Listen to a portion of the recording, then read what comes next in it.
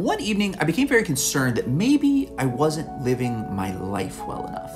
And what did a well lived life even mean? And so I consulted a primer called An Introduction to Philosophy. And in the very first paragraph, it mentions kind of offhand that Socrates did not read or write. He did all of his philosophizing in the public square.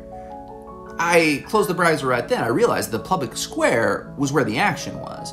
So I went to a bar near my neighborhood that I always go to, and they were deep into karaoke night.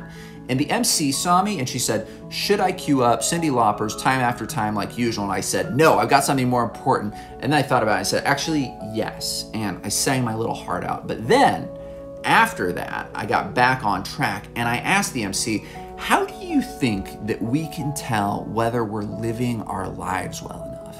And she said, Finally, you're flirting with me. Well, we had a whirlwind romance, and the MC and I immediately had four kids in three years. Our fertility was the stuff of legend. No twins either. It just went boom, boom, boom, boom, vasectomy. And it was all very fulfilling and very consuming. But still, I wondered about a life well lived. And so, when the youngest of my kids turned four, I gathered all the kids into a room and I said, One of your chores this year, in addition to keeping your rooms clean, is to figure out what makes a life good and then report back to me. Once a month, I check in with them on the project, and they always say that they're still working on it. But honestly, that's fine. Just knowing that my kids are on the case puts me at peace. Because, you know, I feel like a good philosopher philosophizes, but a great philosopher delegates.